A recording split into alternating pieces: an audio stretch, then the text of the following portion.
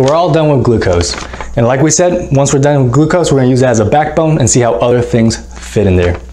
This video is gonna be all about the other monosaccharides and how that fits in to the backbone. Do you remember what the other monosaccharides are? Those are your galactose, those are your fructose. Okay, so we're using this backbone. This is part of glycolysis.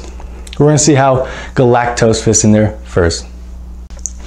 So galactose immediately gets phosphorylated to galactose 1-phosphate. Why do we do that?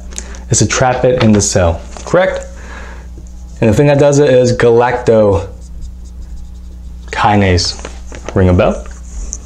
And in regular galactose levels, that works fine. And if there's too much, it recruits a friend. Who do you think that friend is? That'll be your aldose reductase. That's, remember, turns sugars into its alcohol alternative. Tells it, you know, just chill for a bit. Once we're finished, we'll let you back in. Turns that into galactitol. Just keep that in mind. Now you have G1P, and that re-enters the cycle via uridyl transferase. That's it. That's how it works. Now again, as clinicians, we're not really concerned about how it works normally. We're more concerned about when it can go wrong. So let's see how it can go wrong. You can have galactokinase deficiency.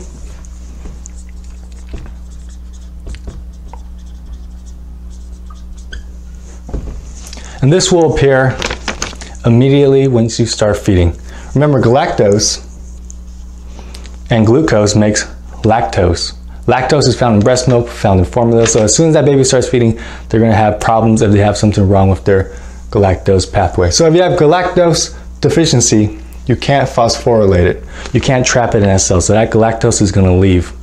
You're going to have galactosemia. You're going to have osmotic damage to your eyes and cause cataracts. Now here is how the boards ask it. Talk about a baby that starts feeding, and then suddenly the mom notices that it doesn't track things with his eyes.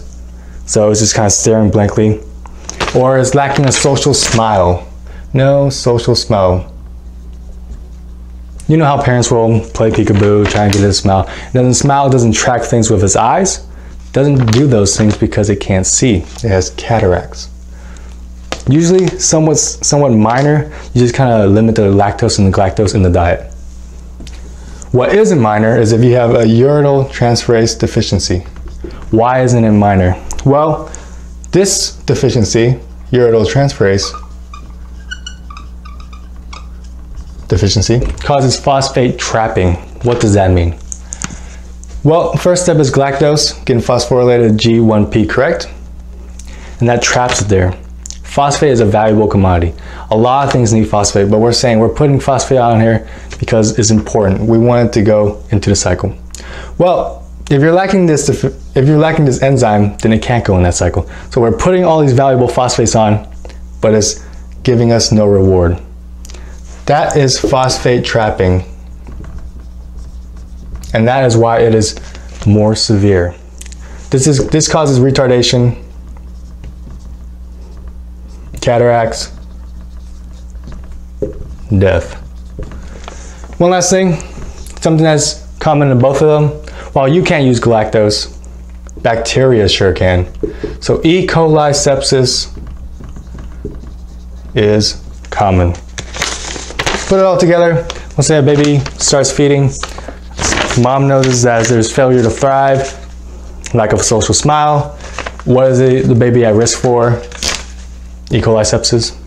That'd be a nice board question. So that's galactose. Let's move on to fructose. Next up is fructose. Fructose is very similar to galactose. Fructose is found in fruit juices, honey. So if a baby starts feeding breast from breast milk and is doing fine, and then all of a sudden the mother introduces things like honey, things like fruit juices, and then the baby takes a dive, that should trigger some suspicion, okay? The pathway, very, very similar. Fructose comes in, gets phosphorylated. to fructose 1-phosphate via fructokinase.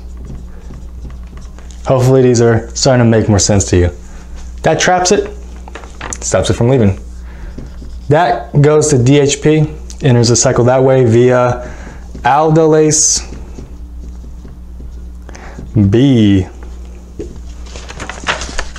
That's it. So what can go wrong? You tell me, there's only two enzymes. This can go wrong, and this can go wrong. So fructokinase deficiency, pretty much benign. You can't trap it in the first place, so you just kind of pee out any excess. Try and limit the fructose, try and limit the, the fruit juice. Baby, should be fine. Aldolase B, aldolase B deficiency, however, more severe. Why? Phosphate trapping. There's that term again. So aldolase B, you're gonna have failure to thrive, hypoglycemia, and that again is all due to the phosphate trapping. Again, try and limit the, the fructose, the fruit juices, the honey. One last thing, the boards like this. When you do a urine for sugar, it only detects glucose. If you're trying to detect the other sugars, you need to add reducing sugar to that urine test. Understand? That does it for the extra sugars. Thanks for watching.